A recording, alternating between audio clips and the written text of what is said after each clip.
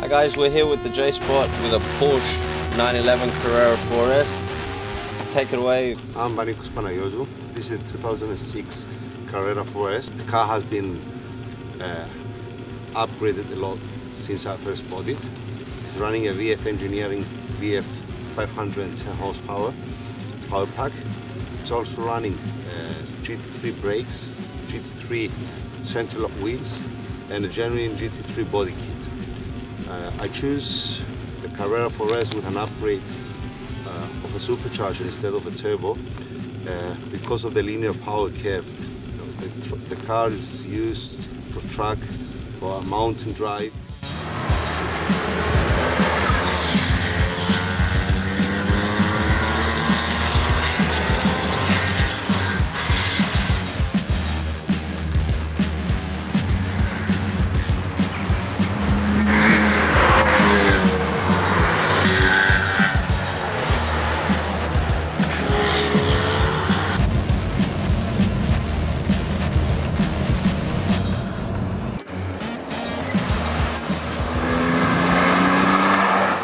Tell us a little bit about um, the response of the car when you're driving it in the turns, how that makes you feel.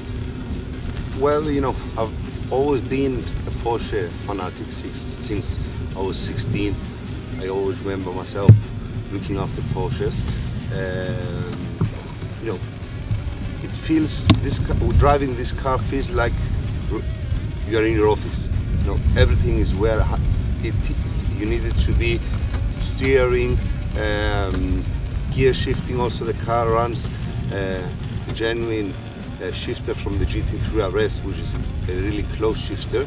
Um, the way it delivers the power, the handling, uh, is something that's what I really wanted from a car. I can't say the turbo will have delivered the same handling, but it all comes to the to the matter of power delivery.